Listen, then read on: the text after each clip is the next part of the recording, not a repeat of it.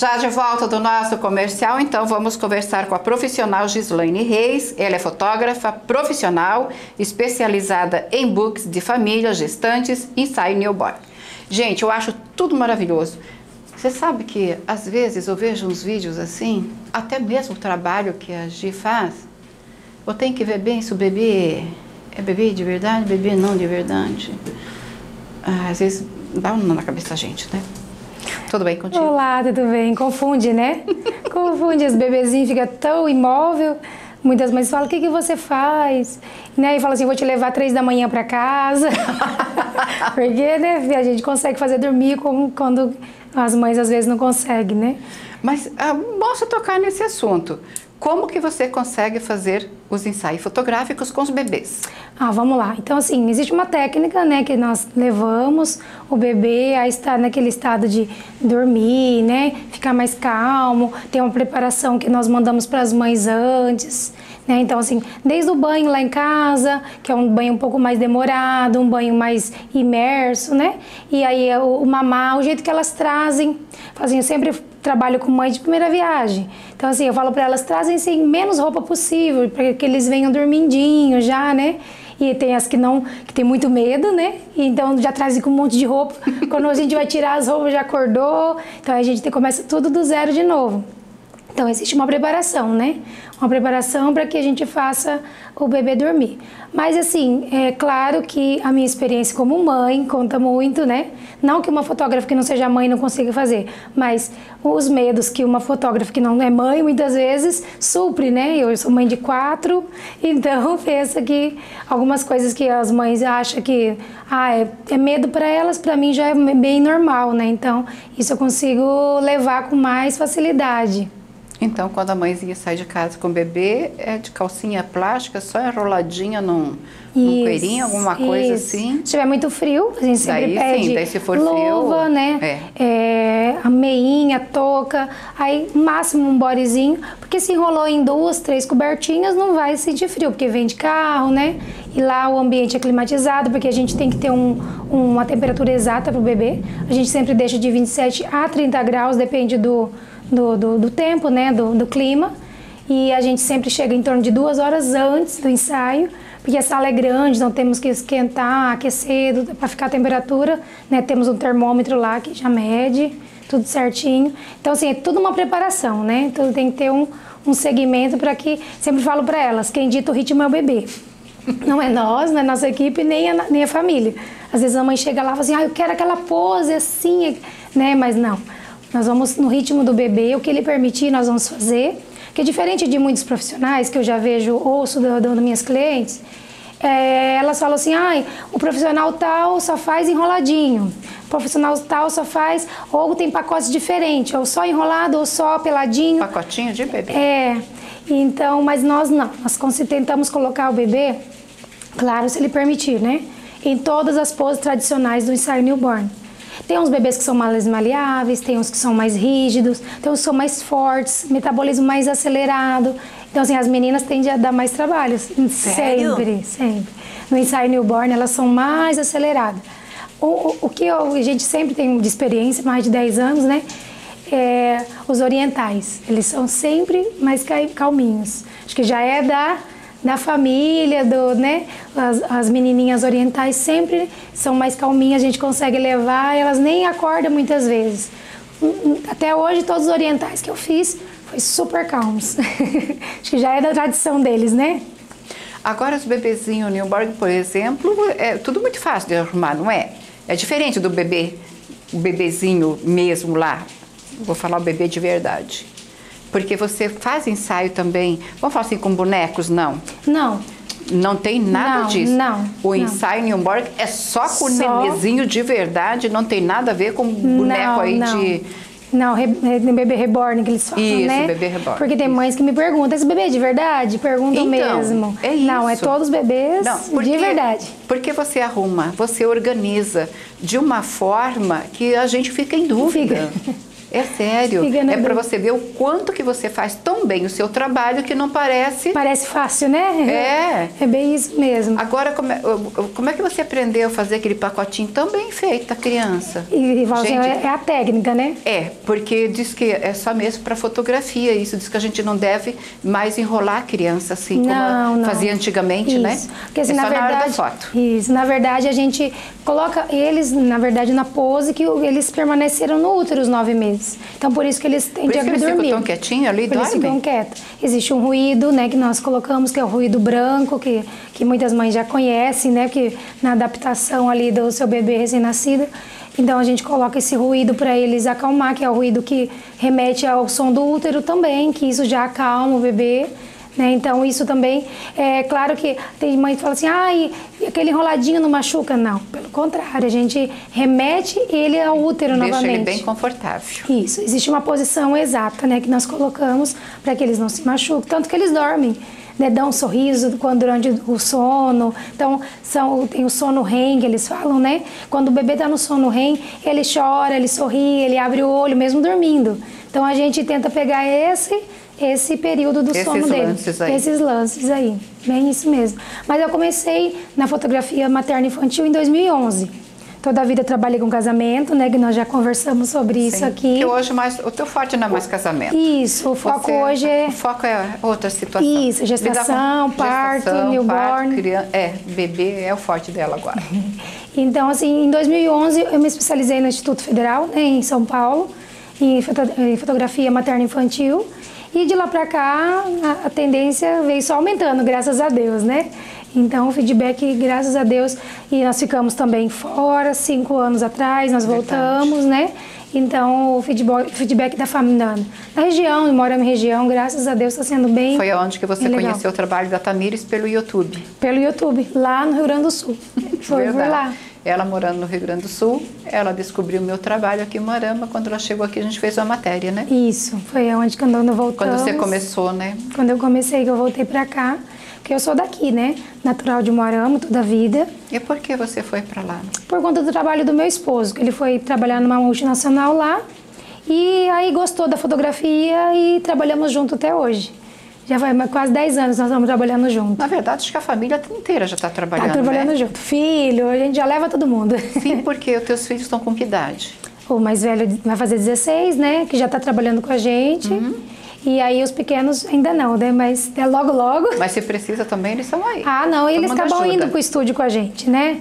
É, Sempre tá por ali, a gente. E é bom porque eles já vão prestando atenção como que é, né? Sim, sim. Eles são tranquilos, Eles eles, vão seguir o trabalho dos pais.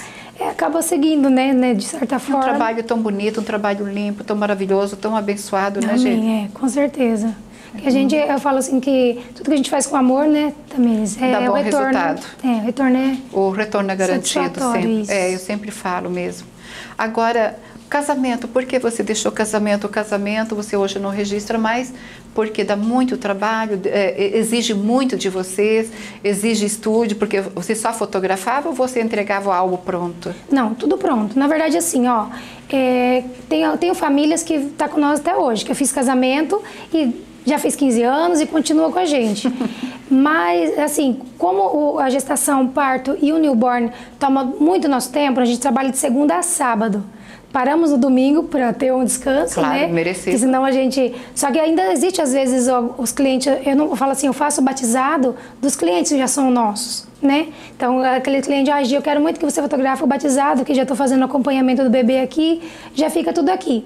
Então, por, por conta do tempo, nós paramos com o casamento. Mas assim, existe casamento, alguns clientes que já são nossos, assim, ah, Gi, faz para mim, é um casamento menor, tal. Você Até faz, o último só não, da Você não faz que nem antigamente, tanto. Sim, não fazemos tantos, mas assim, se for ao cliente já cliente nosso que, né, que pede, nós acabamos fazendo. Mas até o último nós fizemos, que foi do começo da pandemia, que foi mudando e mudando e mudando, que foi ali que nós demos demos uma freada nos casamentos no começo da pandemia. Então nós terminamos agora esse ano, no final do ano passado, o, esse último casamento. Mas assim, é, não é nosso carro-chefe mais. Não que nós não fazemos, né? Que eu já te disse. Mas é, é, o nosso carro-chefe hoje é a gestação, o parto e o ensaio newborn. E depois as mães continuam o acompanhamento, festinha de um ano. Isso já toma bastante tempo da família, né? E então, como toma tempo, né? Então a gente teve que optar, né? Senão a gente não vive também. Na verdade, o trabalho com criança dá bastante trabalho. Sim, né? né? Tem tudo. É um, trabalho trabalhoso. Isso, tem que ter uma paciência, né? Tem que ter um, um jogo de cintura. Criança é assim, né? Tem a fase ali do adolescência dos dois anos, que as mães voltam e falam, Gi, mas não é difícil tirar foto de dois anos. É, mas a gente consegue. Com jeitinho, a gente Tem aquele vai... jeitinho especial Isso. de lidar com a criança, né? Uhum. Porque muitas vezes a mãe vem até um ano no acompanhamento, depois ela vai vindo nos temáticos, né? Tipo Páscoa, até cinco anos a criança gosta de fazer foto ainda, né? Páscoa, Dia das Mães, Dia dos Pais, Natal. E depois do Natal também, todo ano é um cenário diferente, né? Então elas acabam vindo com a família toda. Tem família que vem com, os filhos grandes já, né? Então acaba continuando fazendo o mesmo dentro da família. Sem problemas nenhum, gente. Isso é muito importante, muito bom mesmo. Agora, na pandemia, como que ficou todo o trabalho de vocês? Nós achamos, achávamos que ia até piorar, mas graças a Deus o nosso aumentou. Falar bem a verdade. Eu acho uma benção, porque muitas pessoas que vêm aqui falam a mesma coisa. Sabe por quê? Eu falo para o nosso, nosso atendimento é individual. Então, assim, é, é, hora marcada. Então, não tem um público é, que vai, você vai estar tá com meio de um monte de gente. Então, o nosso atendimento, como era individual, todo mundo de máscara, tudo certinho. Então, a gente sempre deixava claro, se tivesse com algum sintoma respiratório que não viesse, me avisasse antes. Então, com isso, como o pessoal estava muito dentro da, vamos dizer assim, de casa, né? Então, eles acabavam querendo sair um pouquinho dessa situação de ficar né, dentro de casa demais, a não ser nos dias que não podia fazer mesmo, aí nós tivemos que parar, né? Que aí foi por lei, pela né, vigilância sanitária, não atendemos. Mas fora isso, nosso, nosso atendimento continuou e até às vezes aumentou pelo fato de que o pessoal queria sair um pouquinho, as famílias queriam sair de dentro de casa um Sim, pouco, porque né? todos ficaram dentro de casa de castigo, né? E os bebês não param de nascer, né? Não. Graças a Deus, Ninguém né? para de fazer. Ninguém para de fazer filho, eu, né? Eu acho que na pandemia fizeram mais. Não, bem mais, né? Bem mais. acho que a fábrica ali não parou. tinha mais tempo, né? Tinha mais tinha tempo. mais tempo, tinha mais tempo, com certeza. Agora, a, além do... A, a, você faz dos bebês até hoje, né? Você faz o álbum de famílias também, uhum. você procura fazer tudo, é, você pega desde a criança e vai na adolescência, você segue ela também? Todos Sim. os passos? Ah, ontem, Tem família que gosta disso? Sim, essa semana mesmo nós fizemos um ensaio de 15 anos, que a gente faz bastante também, tanto no estúdio como externo, né? Também gestante, tanto estúdio como externo aí a gente deixa a critério do do cliente para escolher, né? Ensaio feminino nós fazemos bastante também. Só que nós não postamos muito ensaio feminino. Então, às vezes as pessoas acabam não sabendo que a gente faz ensaio feminino. Verdade. Então, para não, não confundir o, o, o, cliente ali na página, fica muita coisa, nós acabamos não colocando, mas colocando. Mas o próprio cliente faz, posta e nos marca, né? E a gente acaba repostando. Daí tá mas é, é um ensaio em geral nós fazemos, né? Família, tanto tem casal que faz, ah, eu quero fazer aniversário de casamento, tem muitos que vêm, 25 anos, né? Então a gente vai continuando sempre com a família mesmo. Ensaio em geral de família nós fazemos. E as gestantes? As gestantes sempre nos procuram, sempre falo para elas, nos procure cedo. Tem gente que fala assim, ai, tô com 10 semanas só, tô com 14 semanas, sem problema. Comecinho da gravidez tem que procurar, então. Ótimo, uhum. Porque assim, eu sempre falo para elas, 60 dias antes das 27 semanas porque é um período legal que você já vai poder analisar os seus pacotes que você quer, né? E também, assim, a maioria quer final de semana, final de semana lota. Então é o que os primeiros horários que saem, né? Então agora, que nem a, eu não tenho mais final de semana até final de fevereiro, porque elas marcaram já em dezembro, dois meses antes. Então, assim, sempre eu falo para elas, procurem bem antes. Mas teve muitas que me procurou em janeiro, que eu falei assim, elas acharam que acabou, ia acabar o ano, no final do ano ia acabar o mundo. Esqueceram de marcar. Então choveu gestante essa, esse janeiro. Mas final de semana elas não conseguiram, muitos queriam final de semana. Então aí sempre eu falo para ela, idade gestacional legal para fazer, 27 a 33 semanas. Já fiz de 38 até, uma semana antes de ganhar. Mas a mãe fica mais cansadinha, né? Fica. Não fica tão disposta para troca de roupa. disposta, a barriga já começa a incomodar um pouquinho. Inchaço o rosto, né? isso. né? Às vezes nem a maquiagem não esconde, né? Então, e com calorão. Isso aí no, incha bastante. Incha bastante agora no calor. Então eu sempre recomendo 27 a 33 semanas, que é um período legal. Legal que você não está inchadinha, o lábio não está inchado, o rosto não está nariz, inchado. sempre nosso nariz acaba inchando bastante. O nariz incha, o lábio incha. É, é verdade. É, o olho também, né? Acaba ficando inchadinho. É, e às vezes a maquiagem não esconde esses, esses detalhes, né? Mas não que não dê para fazer. Ah, conseguimos encaixar, estamos lá, né? Vamos, não vou deixar a mãe sem esse registro, que é lindo, né? Verdade. Eu falo verdade. que elas estão construindo a história do bebê. É, claro. Né? Agora você faz o registro com a gestante, não lá no hospital, na maternidade, essas coisas todas. No parto, sim. No Também? parto, sim. Nós temos aí, nós fazemos. Sempre eu vou uma hora antes. Ela internou, eu vou uma hora antes do parto, né? Sempre elas me passam a hora do parto ali. Eu vou uma hora antes, faço fotos não, são fotos pousadas que nem estúdio, né? Não são fotos elaboradas. São fotos para elas terem essa recordação. É, primeira roupinha, aí se é uma menina, vamos fotografar o brinquinho que ela vai usar. Se não tem o brinco, a primeira, primeira saída da maternidade, né? Então isso é legal registrar. As malinhas estão tudo novo, né? Tudo, principalmente quando é mãe de primeira viagem, é legal. Ah, o porta-maternidade, isso é lindo. Até o, o número do quarto é importante para a mãe. Ah, né? Isso é verdade. São detalhes que, né? Detalhes que fazem a diferença. Totalmente, né? Que depois fala, oh, eu fiquei naquele quarto, aí vai mostrar pro seu filho o álbum depois. Porque eu sempre falo, foto boa é foto impressa, na mão. Não é só no, né? Que elas ficam me cantando sempre, Tamires, eu, eu brigo com elas. Ah, não dá pra fazer só digital. Não, foto tem que ser revelada também. Eu falo para elas, né? É. Foto boa é foto revelada. Porque daqui a pouco a gente pode perder um celular, a gente pode quebrar. Mas é verdade, não dá né? pra confiar. Celular não. Ah, agora no pendrive não existe mais. Ah, tudo bem que hoje em dia tem tecnologia das nuvens, joga no e-mail. Isso. Mas quando que você vai ver novamente? Você vai é. mostrar para a família que chegou, que legal você ter o álbum na mão. É uma coisa totalmente é trabalhoso, diferente. Sim. Então é melhor ter o álbum, ter a, a foto ali, como sim. antigamente. Como antigamente, isso. Eu sou das antigas. Eu também. Como antigamente. Eu gosto. E a fotografia é lembrança. Quando você vê uma foto, você vai lembrar qual foi aquele momento. Sim, não é? isso aí. Tem um momento que você pagou mico, que foi tão importante, pessoas que não estão mais contigo hoje, você vai ver aquela foto. Então, eu acho muito importante. Ah, não, vale a pena, né? Gi, eu vou te deixar bem à vontade para você deixar teu recado para finalizar. E se eu não te perguntei alguma coisa, aproveita e fala. Basicamente seria isso, né? Mas assim, quem quiser conhecer melhor nosso trabalho, tem o nosso site. Deixa o endereço. Né? Nosso, nossas redes sociais, Gislaine Reis, fotografias é nosso Instagram.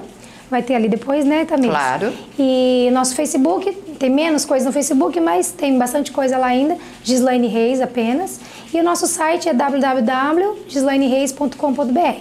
Dá uma visitadinha lá, né? Conheça o nosso trabalho um pouquinho melhor. Lindo o trabalho dessa, vão adorar. Segue a gente lá no Instagram, que aí no Instagram sempre tem novidades, né? Facebook também, sempre a gente está colocando. Ah, todos os, os cenários novos a gente posta ali, né? Os ensaios do dia a gente acaba postando. Às vezes passa um ou outro, mas a gente sempre gosta de postar, que as mães também gostam, né? Claro, de claro. ver, né? Os, os ensaios durante ali. Sim. Mas pode correr lá e seguir nosso, nosso trabalho, que a gente vai postando as novidades durante a semana, durante o dia, né? Bom, o contato dela está aí, o endereço, Instagram, tudo direitinho no rodapé pode olhar, vocês vão se deliciar com as fotos, é, é uma mais linda que a outra. Eu gosto de entrar lá, eu gosto de ver. E se precisar do trabalho dela, é só entrar em contato também. Então, com a Gislaine Reis e família. E família.